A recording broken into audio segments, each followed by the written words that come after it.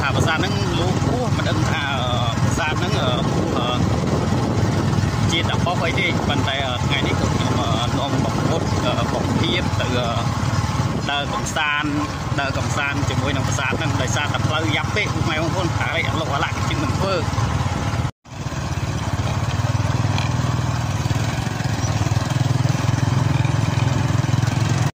បាទបង្វិលអារម្មណ៍ពុក ម៉ែបងប្អូនមកជួបមកកាន់តាគៀកភ្នំដងរ៉ែមែនទេអីពុកម៉ែបងប្អូនបាទគឺមកប្រាសាទនាគបួសបាទប្រាសាទនាគបួសនាគបួសតែខ្ញុំនៅនេះឡើងប្រហែលឆ្នាំហើយគឺខ្ញុំមិនដែលស្គាល់ទេជាងនឹងថ្ងៃនេះឯងបាទចឹងតរោតាមតាមទស្សនាប្រាសាទនាគបួសទាំងអស់គ្នាបងប្អូនបាទនេះជាទំពាំងដើមឈូកទៅតាមនេះទំពាំងស្រស់ស្អាតដែរវិញ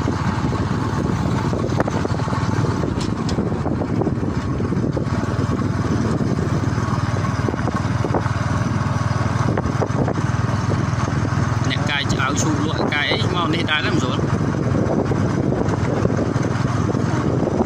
បាទនេះគឺផ្លូវទៅប្រាសាទនាងពោះពូទូចនៅនេះឡើងរាប់ឆ្នាំហើយមិនដែលបានឃើញទេតែថ្ងៃនេះផ្លូវទៅទៅមួយជាមួយនឹងផ្លូវវត្តភ្នំដាច់តែថ្ងៃនេះខ្ញុំ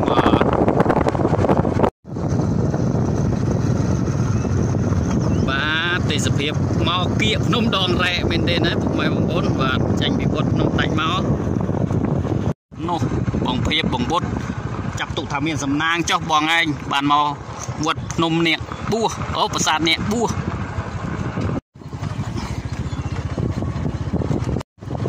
អត់ដែរមកណាអត់ដែរមកមិនចិត្តមានមកអឺអាយអ្នកនៅម្ដុំនេះហាមស្គាល់ផ្លូវអូផ្លូវចេះងើបអាល្អតែពីមុខបន្តិចនោះចាប់ អឺបងតាក់លេងជិះម៉ូតូអញមិនល្អអីប្រូអីអាស៊ីចទាតិចហើយរឿងហ៎អីជិះពីទៀតមកទៅមកមកទៀត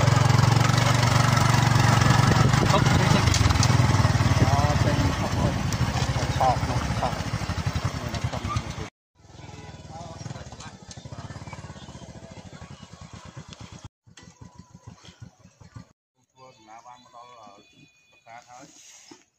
បាទ មានសំណាងមែនទែនបងវុតពីអ្នកបងធៀបខ្ញុំនៅត្នេះរាប់ឆ្នាំហើយមិនដែលបានឃើញប្រាសាទអ្នកបួសទេអ្នកបួសបាទប្រាសាទអ្នកបួសបាទប្រាសាទនេះគឺនៅស្ថិតនៅជឿភ្នំដងរ៉ែនៅកណ្ដាលព្រៃ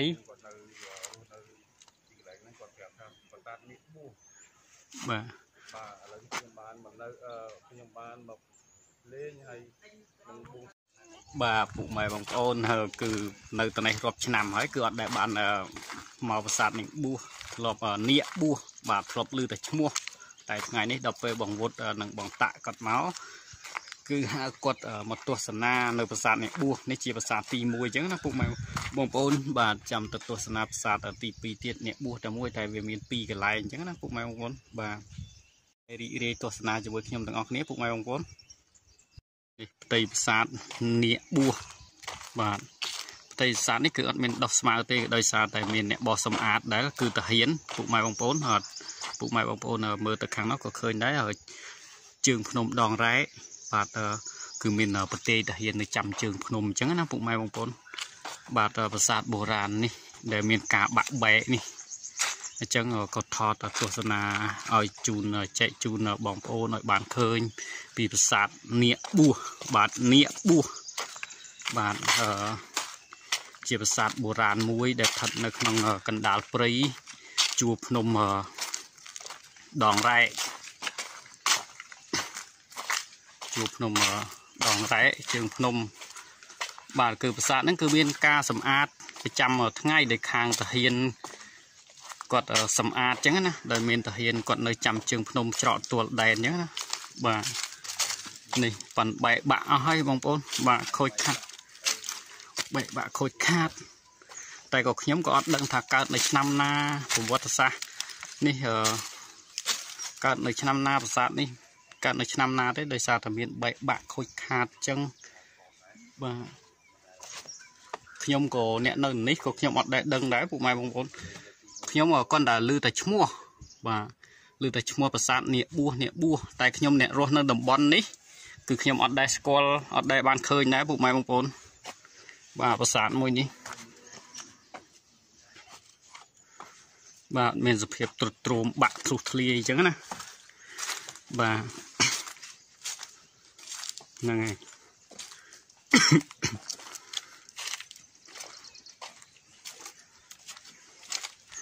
បែកបាក់ធ្លុះធ្លាយអញ្ចឹងអស់ទៅពុកម៉ែបងប្អូនមើលទៅបើសិនតែសភាពប្រាសាទនៅជាប់ស្រស់ស្អាត គឺមើលទៅសភាពស្អាតប៉ុន្តែដល់ពេលនេះបែកបាក់អស់ខ្ទេចខ្ទីអស់ខូចខាតអស់ចឹងទៅនៅសល់តែថ្មចឹងទៅបាទ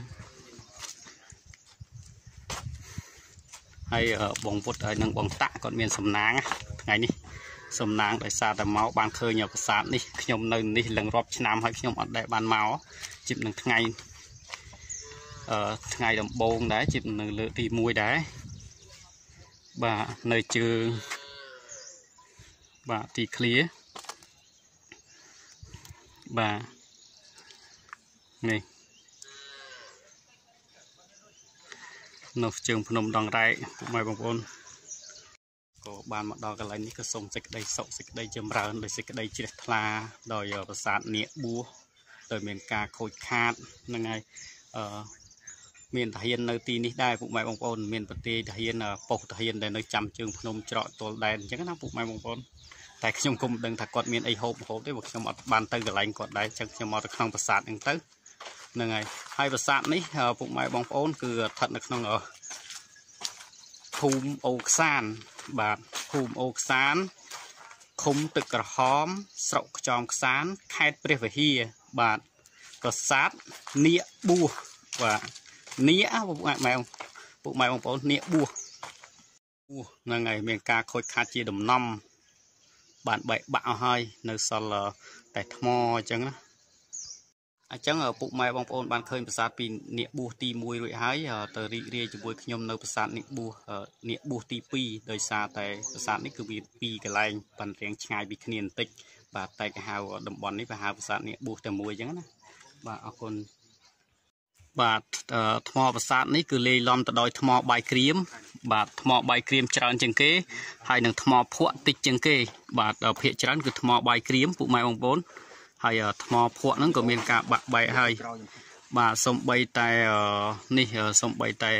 រនាងខាងនេះក៏ថ្មបាយក្រៀមដែរពុកម៉ែបងប្អូនប៉ុន្តែថ្មភក់គឺមានសភាពតិចតួចបំផុតទេពុកម៉ែបងប្អូនថ្មភក់បាទនេះថ្មភក់មានសភាពតិចតួច តែបើថ្មបាយក្រៀមគឺមានច្រើនពុកម៉ែបងប្អូនមានជាច្រើនបាទ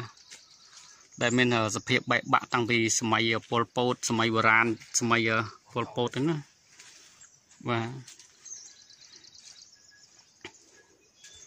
នោះអាយដលបាទមកពីរាជធានីភ្នំពេញប៉ាន់អាយដលរៀងអាយដលក្រហមពុកម៉ែបងប្អូននោះដកដង្ហើមតេតតេតតេតតេតចង់ដាច់ខ្យល់ហើយដូចចង្រិតចឹងបាទប៉ុន្តែអាវពណ៌សហ្នឹងអត់អីទេពុកម៉ែបងប្អូនដោយសារតែគាត់កូនអ្នកស្រែដែរទេអ្នកតាកែវកែបងប្អូនអ្នកតាកែវអូឆ្លងកាត់អស់ហើយបាទប៉ុន្តែប៉ុន្តែនោះបងអាវក្រហមនោះតេតតេតតេតដូចដង្ហើមចង្រិតហើយ គាត់អឺឆ្លោះចឹងហើយដោយដោយសារគាត់អ្នកអំពេញបាទពុកម៉ែបងប្អូនបន្ទាប់ពីបានឃើញប្រាសាទនាគបួសទី1រួចហើយឆ្ពោះទៅកាន់ប្រាសាទនាគបួសទី2បាទចាំមើលថាប្រាសាទនាគបួសទី2ហ្នឹងមានសភាពស្រស់ស្អាតយ៉ាងណាបងពុកម៉ែបងប្អូនរួមចូលដល់តិចស្រុកព្រៃអត់បានទេពុកម៉ែបងប្អូនហ៎ កន្លែងចាំប្រាសាទអញ្ចឹងណា នេះសាលាឆោទៀនក្នុងព្រៃទេពុកម៉ែបងប្អូនតែមានសាលាឆោទៀនបាទ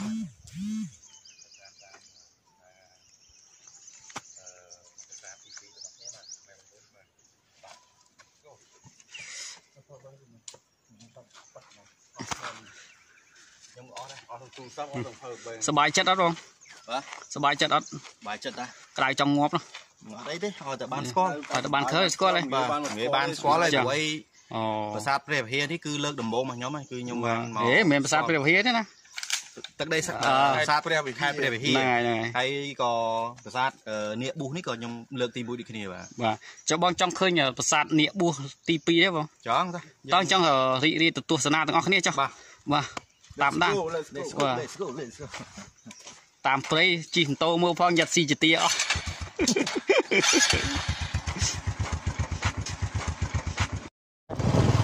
ជាមិនទាន់ឲ្យលុយវាអស់ទេអានៅផ្លាកលេទៀតនោះឲ្យអស់ហើយបើវាមិនទាន់ឲ្យផ្លាកលេទៅមិនទាន់ឲ្យវាអស់ដែរមើលតែផ្លូវទៅប្រាសាទនាគពោះទី2ហ្នឹង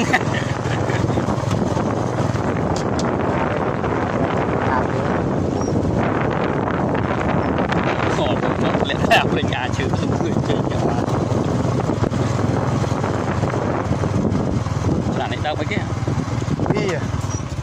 នេះសិតតែព្រៃតសៃអូស្គា ល់ព្រៃតសៃមកកន្លែងទៀតណាតែប៉ុណ្ណេះហ៎ជីកតពាំងភាសានេះលន់ទៀតណាអត់ដូចចាំបងបងមកនេះខណៈខណៈប្រខណៈចេះអានេះស្អីចា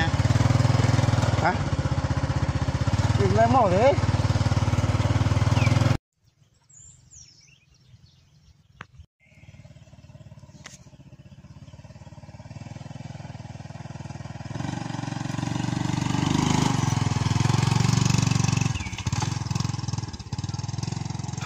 ចាធ្វើបាបខ្ញុំបណ្ដោយពុកម៉ែបងប្អូនប្រសិនទាំងបួសទី2ហ្នឹងដល់ខ្ញុំដើរខណៈបាទខ្ញុំដើរលេងបង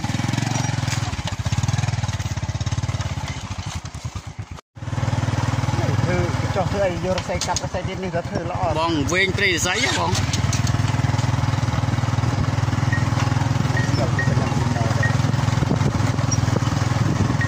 អឺប្រសើរ ប្រាសាទក្នុងព្រៃក្នុងព្រៃមែនហើយគេលួចលាក់ណាគេមកបំពោះលោកហ៎គេលួចលាក់គេមកបំពោះលោកណាដូចលាក់បួសលោកចាំមិននិយាយថាសានអ្នកបួសនេះសត្វនាគបួសចេះមិនក៏ឆ្ងាយគ្នាមិនចុះចាំមើលសាទទី1សាទព្រះវិហារសាទទី1សាទទី2នេះឆ្ងាយប្រហែលទេនេះគឺវាចាស់ចាស់បំផុតបាទ ជីបដល់ហើយពុកម៉ែបងប្អូនហើយក្រាបដល់ប្រាសាទនាគបួសទី2សាទទេនោះ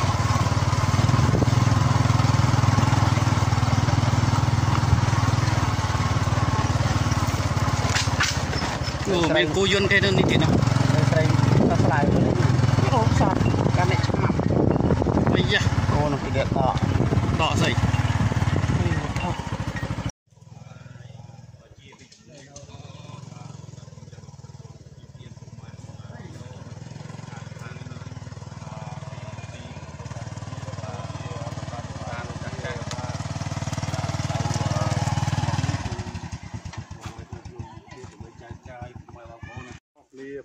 បាទពុកម៉ែបងប្អូនគឺបានមកដល់ប្រាសាទនាគបួសទី2ហើយហ្នឹងហើយអឺ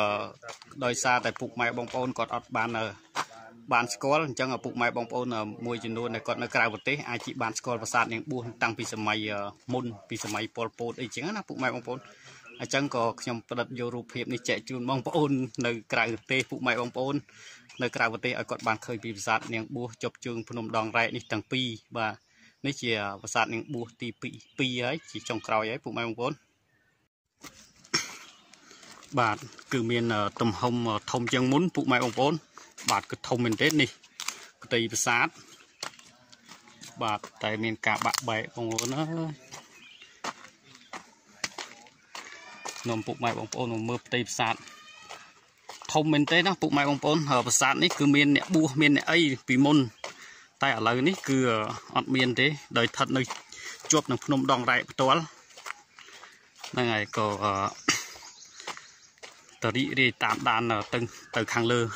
ទាំងគ្នាពុកម៉ែបងប្អូននោះគឺផ្ទៃខាងមុខបាទ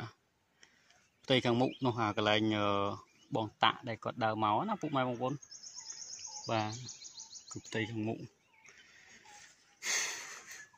មានការបាក់បែក អស់ហើយពុកម៉ែបងប្អូននេះជាផ្ទៃធំបាទគឺសំណាងពុកម៉ែបងប្អូនណាបានមក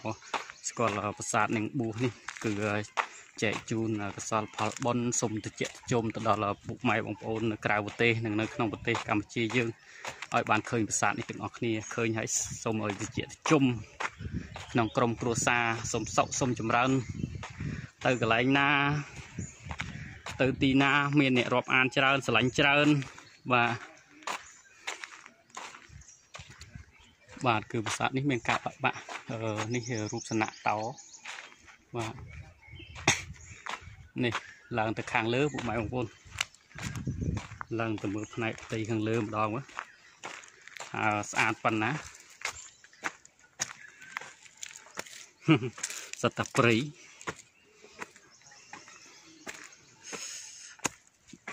មិញនេះជាប្រាសាទទី1អានេះជាប្រាសាទទី2បាទពូពេញទៅដោយដើមសាឡាវពុកម៉ែបងប្អូននេះគឺដើមសាឡាវដោយសារមានបងប្អូនព្រិចមកជាមួយបាទនេះអូប្រាសាទនាគបួសបាទ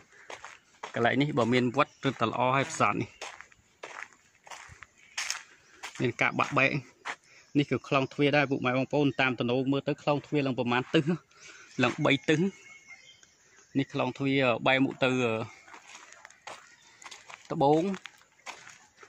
នោះខ្លងទ្វារបែរមុខទៅឡាច់បាទខ្លងទ្វារបែរមុខទៅឡាច់ខ្លងទ្វារធំប្រាសាទនេះខ្លងទ្វារបែរមុខទៅឡាច់ហ្នឹងណាបាទ ហើយកណ្ដាលមុខខ្លងទ្វារនេះដុះដើមសាឡាវទៅសារនៅកណ្ដាលព្រៃបាទ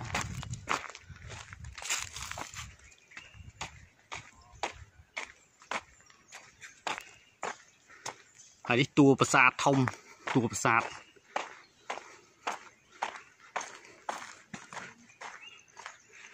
តួប្រាសាទនេះអត់តាន់តួប្រាសាទលេឡំជាមួយថ្មបាយក្រៀម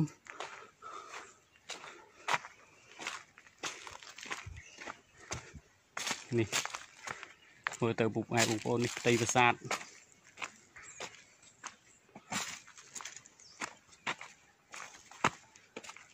អូ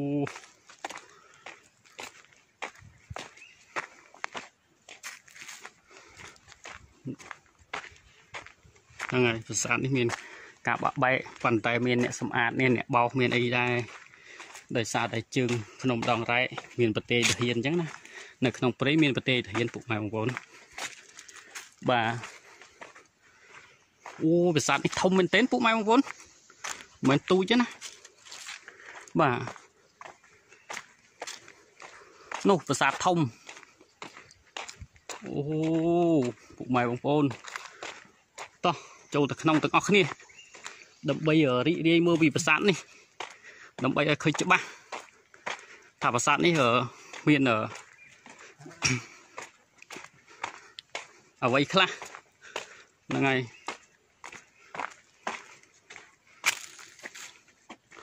អូប្រាសាទនេះមិនមែនតូចទេពុកម៉ែបងប្អូនគឺធំណាស់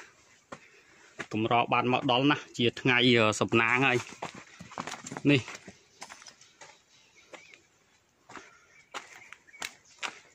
បាទអូបាទពុកម៉ែបងប្អូន អានេះតួខាងក្នុងបំផុតអូនោះមានកប្រោកទៀតនោះនេះនោះមានសត្វកប្រោកសាក្នុងព្រៃណា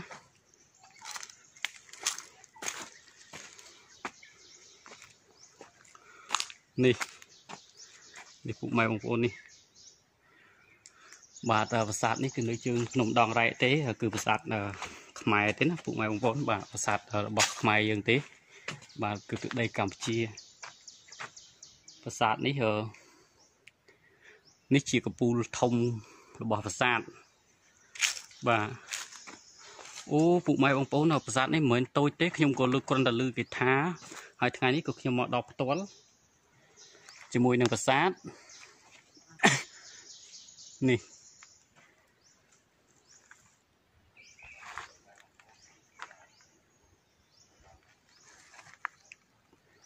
គួរស្ដាយមែនទែនដោយសារតែមានសភាពបែកបាក់អញ្ចឹងណា បាទអានេះជាកតិកភណ្ឌមួយរបស់ខ្មែរដែរពុកម៉ែបងប្អូនបាទនេះជាទង់ជាតិកម្ពុជាយើងហើយចង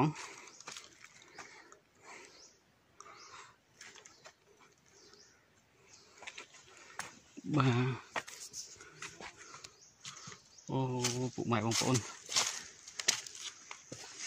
ហ្នឹងហើយបែកបាក់អស់ហើយ ខ្ញុំក៏បានមានសំណាងណាថ្ងៃនេះដែលបានមកដល់ត្រង់នេះប្រាសាទនេះហើយក៏ក្នុងនេះក៏មានប្រទេសសិលាមួយដែរដើម្បីដាក់បំភ្លឺចូលក្នុងប្រាសាទនេះបាទចាំមើលថាប្រាសាទនេះមានអីនៅក្នុងនេះម៉ែបងប្អូនទៅចូលមើលទាំងអស់គ្នាសិនបាទរីករាយទាំងថាក្នុងការចូលមើលអូស្អុយអាចជាវតាបាទមាន3សៃមានដែកកេះ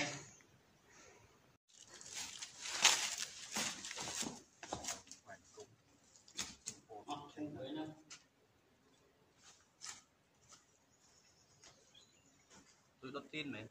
អត់ធូបអត់ទៀនអីបងអត់មានហ្នឹងដុតមកចឹងអត់មានផងណាបងបាទបានចៅបានមកដល់កន្លែងទីអសនៈវត្តប្រាសាទនាគបួសបើកូនចៅវានៅត្រង់ណាមិនសមរម្យនិយាយរឿងខ្វះខាតក៏សូមខន្តីអភ័យទោសកូនចៅពីបរមីប្រាសាទនាគបួសនេះផងថ្នាក់វិទ្យាបាទកូនចៅជាមកលេខទី1ហើយកូនចៅក៏សូមសេចក្តីសុខសេចក្តីចម្រើនផលដល់បងពីម្ចាស់ទឹកម្ចាស់ដីអ្នកថែរក្សាបរមី នៅប្រាសាទនាគបួសនេះបាទពីជំនឿផ្សេសូងមខែប្រកាន់កូនចៅសូមឲ្យកូនចៅជៀសផុតពីជំងឺផ្សេងផ្សេងទាំងអស់សូមឲ្យកូនចៅរស់សូមតែសេចក្តីសុខសេចក្តីចម្រើនបាទក៏អត់មានធូរសាធុសាធុបាទ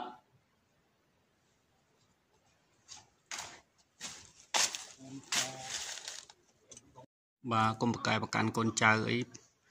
ចាស់ទឹកម្ចាស់ដី បរមីប្រាសាទនេះខ្លោងតពូលខ្ពស់ណាស់ពុកម៉ែបងប្អូនខ្លោងកពូលប្រាសាទបាទគឺខ្ពស់មែនទែនបាទនៅល្អតែប្រាសាទមួយនេះឯងជាងគេក្រៅវិញនោះគឺអឺមានសភាពទ្រុឌទ្រោមអស់ហើយបាទនេះនេះសុំសុកសុកដីសុកសុំដីច្រើនណាមកជីបលើកទី1ហើយនេះជាសំណាងហើយសំណាងបានឃើញខ្ញុំលើកបាទមួយជីបលើកទី1 ដាក់ក្នុងលាននេះទៅ ដាក់បាញ់ភ្លើងចូល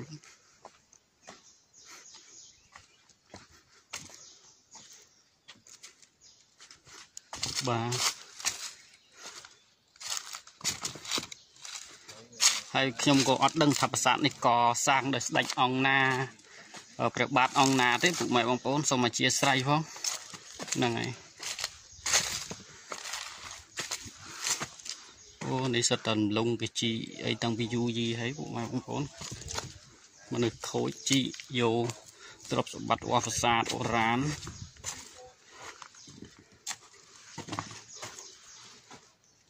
បាទពុកម៉ែបងប្អូនអឺនេះ មានអក្សរសង្ស្ក្រឹតប៉ុន្តែខ្ញុំក៏អត់ចេះមើលដែរអក្សរអក្សរសង្ស្ក្រឹតហ្នឹងហើយអក្សរសង្ស្ក្រឹតបាទនេះ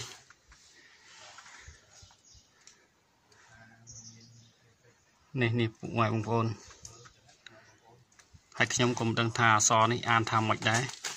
ក៏ខ្ញុំអត់ស្គាល់ទេ ខ្ញុំអឺបាទបន្ទូចទៅសុំតែសេចក្តីសុខសេចក្តីចម្រើនបរមីម្ចាស់ទឹកម្ចាស់ដីដែលស្ថិតនៅកន្លែងនេះ បាទនេះអក្សរសង្ស្ក្រឹតនៅថ្មមួយប្រទាំងនេះ នៅខ្លងទ្វារប្រាសាទបាទបាទ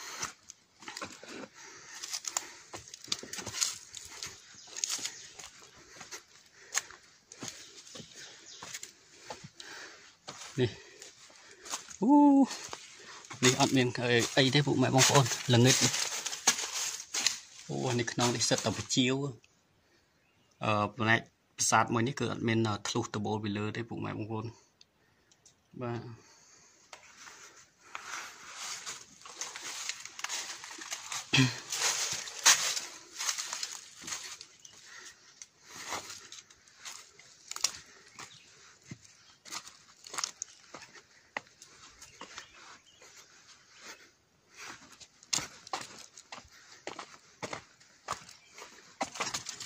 ជប់ភ្នំដងរ៉ែផ្ទាល់ហើយណាបាទ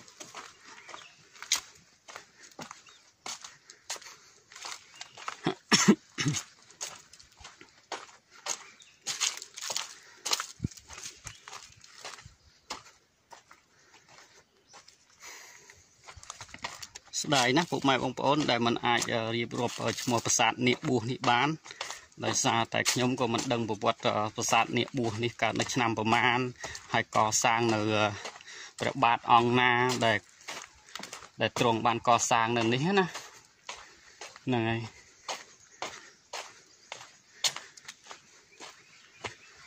ចឹងមានតែថតជូនចែកជូនបងប្អូនឲ្យបានឃើញពីកតិភុនយើង ជាប្រាសាទបុរាណយើងប្រាសាទនេះក៏មិនទាន់ចោះចូលជាអតិកភុនទេលោកពុកម៉ែបងប្អូនដោយសារតែមនុស្សស្គាល់តិចពេក បាទមនុស្សមិនសូវបានស្គាល់ប្រាសាទនេះច្រើនគ្នាអញ្ចឹងណាបាទនោះដុសដើមឈើដុសអីលេងនៅពេញនៅកពូលប្រាសាទអញ្ចឹងណាពុកម៉ែបងប្អូនបាទ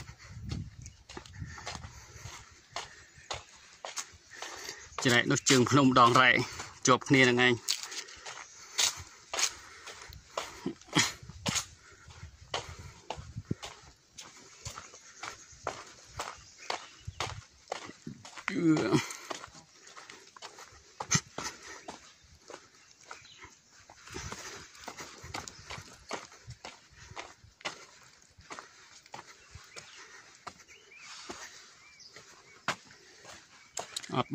មីដាក់អីមក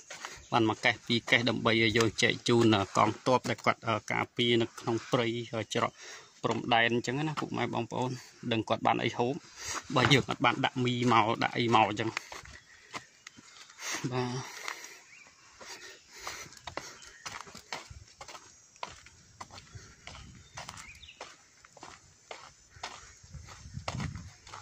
នេះផ្ទៃខាងក្រៅប្រាសាទទេពុកម៉ែបងប្អូន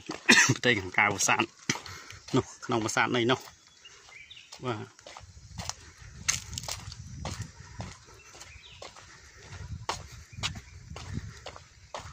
ដើមចកែស្រែងបាទនេះធំណាស់ចកែស្រែងជាឆ្នាំត្រជាក់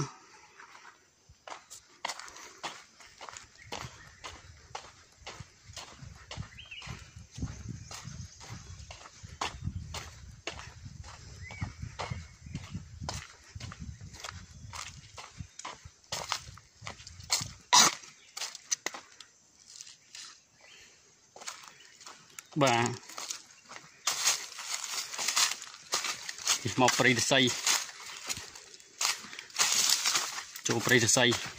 ដើមបដូលពេជ្របាទដើមបដូលគេហៅបដូលពេជ្រឬកវ័ពេជ្រនេះនេះពុកម៉ែបងប្អូន បាទបដូលពេជ្រឬកវ័ពេជ្រហ្នឹងហើយគឺមានស្ថានភាពបែបនេះជាប់នៅជួរជើងប្រាសាទហ្នឹងហើយ បាទ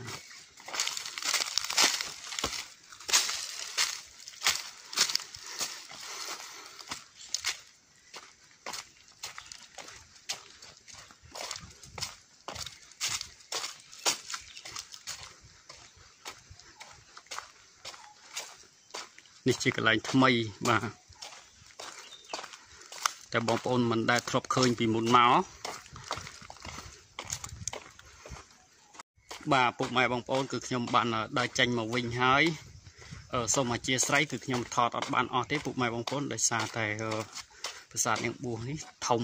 បាទមានទាំងទី1ដល់ទី2ដល់ពេលចឹងទៅទូរស័ព្ទខ្ញុំវាអស់ភ្លើងហ៎បាទអញ្ចឹងខ្ញុំក៏សូមបន្ថែមតែប៉ុណ្្នឹងសិនបាទក៏សូមអរគុណពុកម៉ែបងប្អូនមកតាម Channel YouTube តែងតែទស្សនា Channel YouTube បន្ទូចហើយក៏សូមសេចក្តីសុខសេចក្តីចម្រើន ជូនផលបុណ្យទាំងអស់សូមសេចក្តីសុខសេចក្តីចម្រើនទាំងអស់ដល់ពុកម៉ែបងប្អូននៅក្រៅប្រទេសនិងក្នុងប្រទេសពីបរមីម្ចាស់ប្រាសាទផងដែលបានមើលវីដេអូមួយនេះបាទសាធុសាធុនេះជាបេក្ខជំនឿពុកម៉ែបងប្អូនជាលើកទី1ដែរ